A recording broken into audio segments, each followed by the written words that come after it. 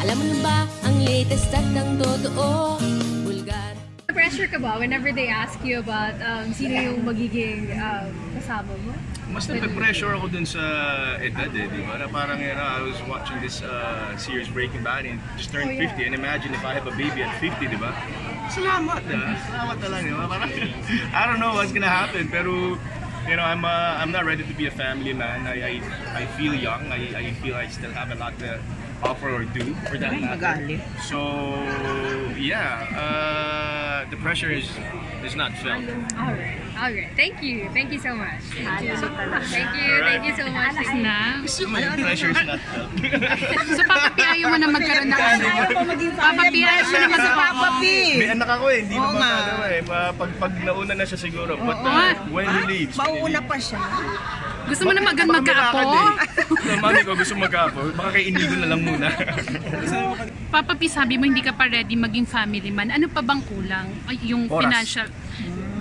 Sa financial stability, wala naman. I, I, I'm a very simple person. I was just talking to my makeup artist and sabi niya, wala kang gastos. Sabi ko, because I don't really do anything. You know, I love to travel. That's my only splurge. And I still want to be able to cover more countries. So that's why I guess I don't want to entertain any thought of being in a romantic relationship. Is because this is the thing I've really wanted to do. To, to you know, uh, travel the world. And Do you- now I'm able vlog? to do it. Do you After- vlog? No, I don't. So I, after 20 years, I'm finally able to do it. And personally, that was a goal. That was a goal for me. I'm sorry. Di ba mas Ano maganda ba? may kasama? pag Oo nga, di ba mas masarap yung may kasama ka raw. Of course, at least you know when I get married, pwede ko sabihin na ito yung pinuntahan ko, you know, the experiences. Pero no, I want, I want to experience it on my own, just to really, you know, I, I saved up for for for this time of my life, for this season, and I'm really enjoying my my my freedom. Na nakakabiyahe ako, you know, at my own pace. Top 3 destinations mo. Uh, locally, it's really El Nido for me, Palawan. You know, um, but uh, I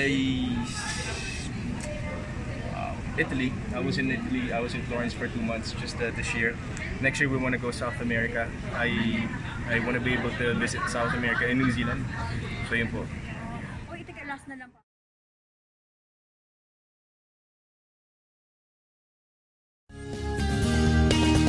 Alam mo ba ang latest at ang totoo?